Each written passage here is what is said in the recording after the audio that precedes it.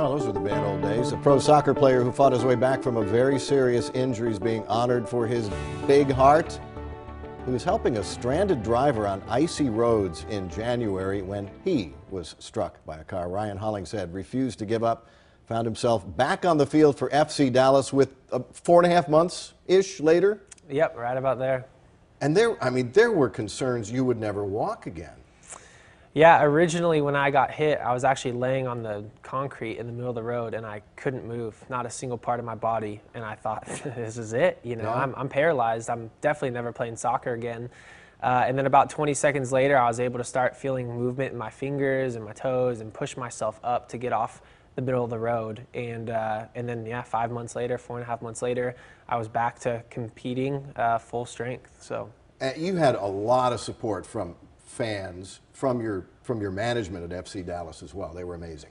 Yeah, really everybody in the entire process was amazing. I had management from FC Dallas coming over and babysitting my kids when I couldn't, you know, be hands-on with them. I had people sending gifts and meals and everything that they could do. I had physical therapists and doctors that were bringing in bringing me in twice a twice a week to take x-rays, you know, just going above and beyond to make sure that we were watching the process and getting me back on the field as quickly as possible. So let's talk about the honor uh, that comes from uh, from the league, and and that is uh, for your humanitarian work and your, let's be honest, your attitude.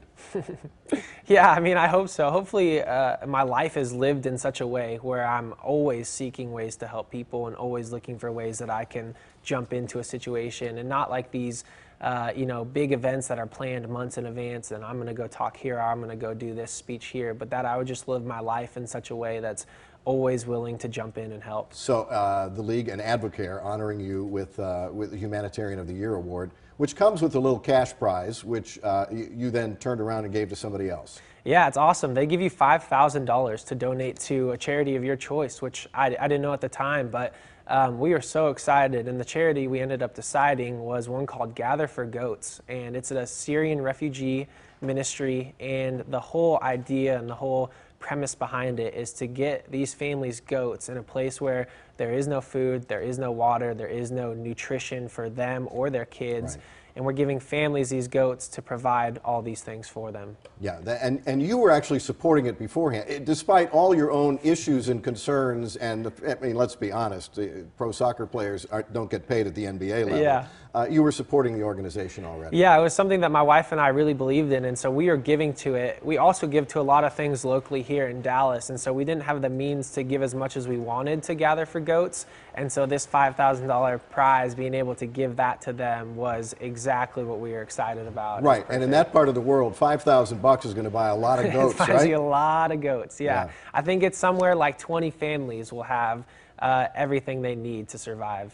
So. Yeah, yeah, that is amazing, making a lot of difference. Well, congratulations. And once it's, the season starts, what, late February? Yeah, so we just finished, we just wrapped up, and we start back up beginning of March. Yeah, and we're back earlier for preseason, but the first game is beginning of March. All right. Well, thank you so much for coming in. You, you look amazing. Your family must be absolutely thrilled. Yeah, thanks for having me. I appreciate Yeah, it. Absolutely. And we have a link to uh, FC Dallas and Gather for Goats if you'd like to support that amazing organization as well on fox4news.com. We appreciate you being here.